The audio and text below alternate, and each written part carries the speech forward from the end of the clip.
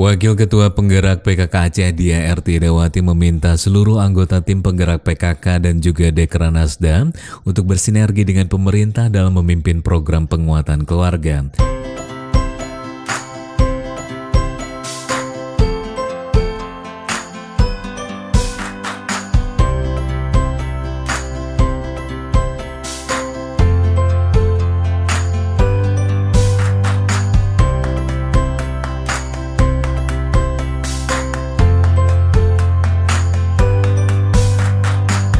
Selain itu, isu kesejahteraan keluarga wajib menjadi perhatian sebab keluarga merupakan unit terkecil dalam masyarakat yang mempunyai peran besar bagi pembangunan bangsa.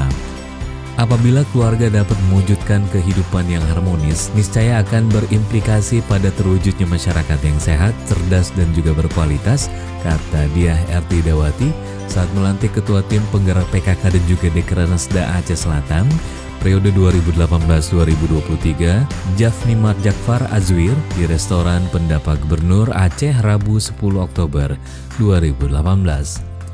Dia menilai selama beberapa tahun terakhir kegiatan PKK dan juga Dekranasda Kabupaten Aceh Selatan berjalan sangat baik. Hal tersebut terbukti dari keaktifan PKK Aceh Selatan dalam memberikan penyuluhan kesehatan kepada masyarakat, menggalakkan kegiatan posyandu, mengembangkan PAUD, bahkan dalam berbagai event tingkat provinsi PKK dan juga Dekranasda Aceh Selatan kerap mendapatkan penghargaan bergengsi. Prestasi itu kata dia, jangan membuat seluruh anggota PKK berpuas diri, karena permasalahan kesejahteraan rakyat tetap masih menjadi persoalan yang perlu dihadapi bersama.